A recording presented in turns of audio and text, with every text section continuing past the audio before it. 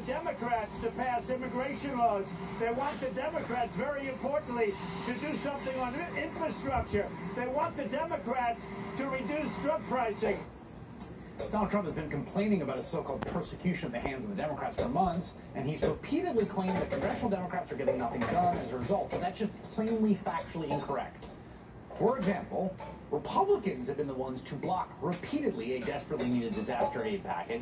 That bill finally passed the House today after they all came back from recess and overrode Republican objections.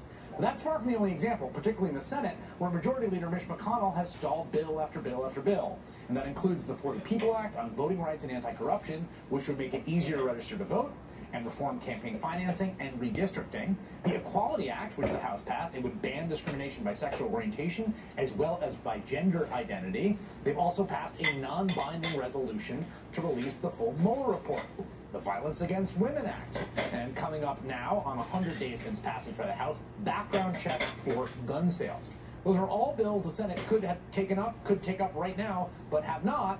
The frustration of even some Republicans. We need to do more. By we, I mean the United States Congress. Other than nominations, which are important, and I will come back to that, we have done nothing. Zero.